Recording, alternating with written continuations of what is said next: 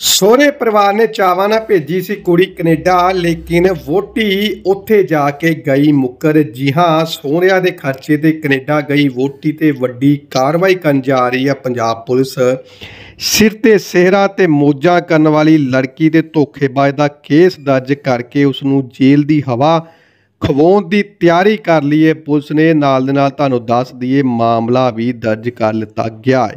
ਮਿਲੀ ਜਾਣਕਾਰੀ ਮੁਤਾਬਕ ਵਿਆਹ ਤੋਂ ਬਾਅਦ ਕੈਨੇਡਾ ਦੇ ਆਪਣੇ ਪਤੀ ਨੂੰ ਸੱਦਣ ਦੀ ਥਾਂ ਸਹੁਰੇ ਪਰਿਵਾਰ ਦਾ ਫੋਨ ਚੁੱਕਣਾ ਹੀ ਕਰਤਾ ਬੰਦ, ਜਿਸ ਤੋਂ ਬਾਅਦ ਪਰਿਵਾਰਕ ਮੈਂਬਰਾਂ ਵੱਲੋਂ ਪੁਲਿਸ ਨੂੰ ਦਰਖਾਸਤ ਦਿੱਤੀ ਗਈ ਦੋਸ਼ ਲਗਾਇਆ ਗਿਆ ਕਿ ਉਹਨਾਂ ਦੀ ਜਿਹੜੀ ਨੋਹ ਗਈ ਆ, ਉਹ ਝਾਂਸਾ ਦੇ ਕੇ ਪਿਆਰ ਦਾ ਕੈਨੇਡਾ ਅਸੀਂ ਉਹਨੂੰ ਭੇਜ ਬੈਠੇ ਆ, ਲੱਖਾਂ ਰੁਪਏ ਲਗਾ ਚੁੱਕੇ ਆ, ਲੇਕਿਨ ਹੁਣ ਸਾਡਾ ਫੋਨ ਵੀ ਕਰਨਾ ਉਹਨੇ ਚੁੱਕਣਾ ਬੰਦ ਕਰ ਦਿੱਤਾ ਗਿਆ ਜਿਸ ਤੋਂ ਬਾਅਦ ਡੀਐਸਪੀ ਸਾਹਿਬ ਵੱਲੋਂ ਖੰਨਾ ਵੱਲੋਂ ਭੇਜੇ ਪਰਵਾਨੇ ਤੇ ਦੋਵੇਂ ਧਿਰਾਂ ਹਾਜ਼ਰ ਹੋਈਆਂ ਜਦ ਕਿ ਲੜਕੀ ਜੋ ਕੈਨੇਡਾ ਰਹਿੰਦੀ ਪਈ ਗਈ ਆ, WhatsApp ਰਾਹੀਂ ਪਰਵਾਨਾ ਭੇਜਿਆ ਗਿਆ। ਉਸਨੇ ਆਪਣੇ ਬਿਆਨ ਵਿੱਚ WhatsApp ਰਾਹੀਂ ਭੇਜਿਆ ਕਿ, ਅਮਨ, ਮੈਂ ਜਿਹੜੀ 2018 19 ਚ ਦੋ ਵਾਰ ਇਸ ਨੌਜਵਾਨ ਦੀ ਫਾਈਲ ਲਗਾਈ ਸੀ, ਲੇਕਿਨ ਰਿਫਿਊਜ਼ਲ ਆ ਗਈ। ਉੱਤੋਂ ਦੋਸ਼ ਲਾਇਆ ਕਿ ਉਸਨੇ ਉਸ ਨੂੰ ਗਾਲੀ ਗਲੋਚ ਕਰਦਾ ਰਿਹਾ ਹੈਗਾ ਆ। ਹੁਣ ਤੱਕ ਦੋ ਆਈਫੋਨ ਤਿੰਨ ਲੱਖ ਉੱਨੀ ਹਜ਼ਾਰ ਰੁਪਏ ਦੇ ਆਸ-ਪਾਸ ਪੈਸੇ ਵੀ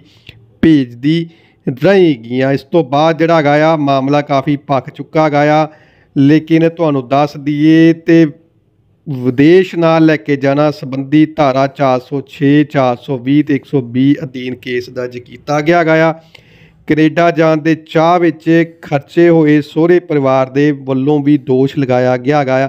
ਤੇ ਉਹਨਾਂ ਦੇ ਕਾਫੀ ਪੈਸੇ ਜਿਹੜਾ ਹੈਗਾ ਆ ਬਰਬਾਦ ਹੋ ਚੁੱਕੇ ਹੈਗੇ ਆ ਕਿ ਹੁਣ ਉਹਨਾਂ ਨੂੰ ਇਨਸਾਫ ਚਾਹੀਦਾ ਹੈਗਾ ਹੁਣ ਪੰਜਾਬ ਪੁਲਿਸ ਨੇ ਪਰਚਾ ਦਰਜ ਕਰ ਦਿੱਤਾ ਹੈਗਾ ਕਿ ਜਲਦ ਹੀ ਵੱਡੀ ਤਿਆਰੀ ਕੀਤੀ ਜਾ ਰਹੀ ਹੈਗੀ ਆ ਲੜਕੀ ਨੂੰ ਪੰਜਾਬ ਵਾਪਸ ਲਿਆਉਣ ਲਈ।